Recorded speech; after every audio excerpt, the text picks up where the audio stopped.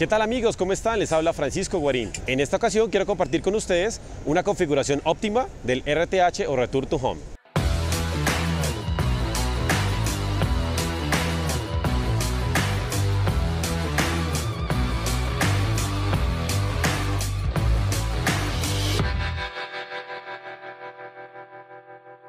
El sistema RTH o Return to Home es un sistema que nos permite automatizar nuestro dron para que en caso de que tengamos una pérdida de señal o alguna eventualidad extraña al momento de volar, el dron automáticamente pueda regresar al punto de despegue sin ningún problema. Existen tres formas de configurar el RTH en nuestro dron, dos de forma automática y una de forma manual. Quiero hacerles una aclaración que este sistema solamente funciona de forma correcta cuando nuestro dron tiene la mayor cantidad de satélites en conexión.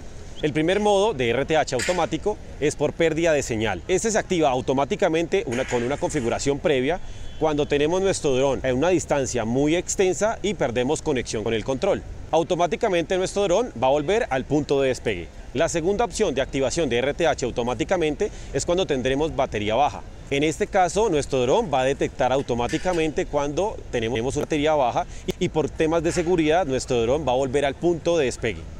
La tercera opción para la activación de RTH va a ser de manera manual. Esta la podemos hacer de dos maneras.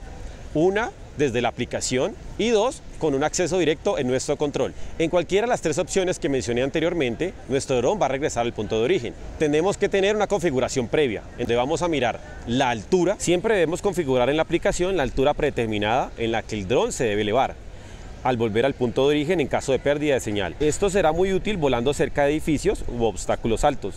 Debemos hacer un análisis previo muy bien realizado. La segunda recomendación es activar la opción que dice comprobación de obstáculos en RTH.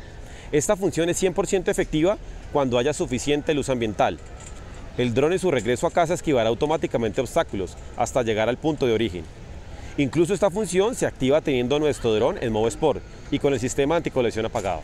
Y nuestra tercera recomendación es siempre tener nuestros sensores bien calibrados. Los sensores evitarán que el dron se estrelle cuando esté regresando a casa automáticamente. Hemos llegado al final de nuestro video. Espero que estos consejos puedan ser de mucha utilidad y los puedan poner en práctica. No olvides suscribirte, activar la campanita y también me pueden seguir en Instagram en arroba Francisco Guarín para cualquier duda o sugerencia. Muchas gracias.